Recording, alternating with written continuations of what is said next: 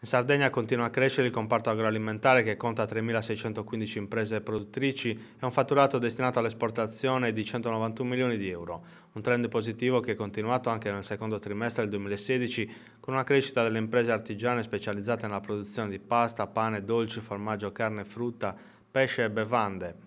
e che vanta export verso gli Stati Uniti, l'Unione Europea e la Cina. I numeri sull'andamento del settore agroalimentare sono stati elaborati dall'Osservatorio sulle piccole e medie imprese della Confartigianato Imprese Sardegna,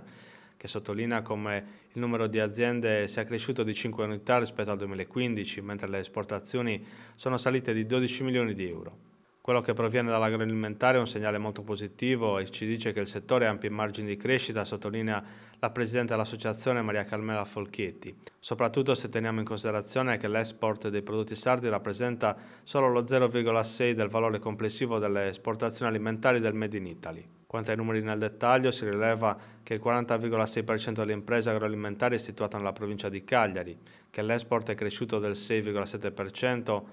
e che i primi tre mercati esteri sono gli Stati Uniti, la Germania e la Francia.